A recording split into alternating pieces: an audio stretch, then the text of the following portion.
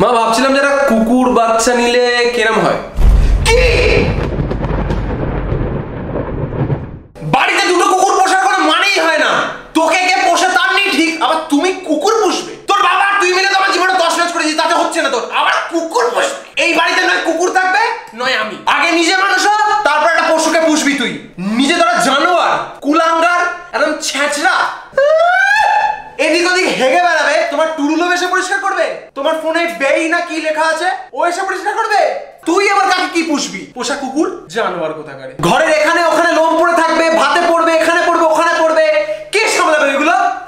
না না, ঘরটাকে চিড়িয়াখানা বানিয়ে ফেলি না, যখন এত জন্তু জানোয়ারের সাথে আমায় বসবাস করতে হবে। মানুষকে মানুষ পুষতে দেখেছ? তাহলে তুমি কুকুর পুষবে কোন সাহসে বলছো?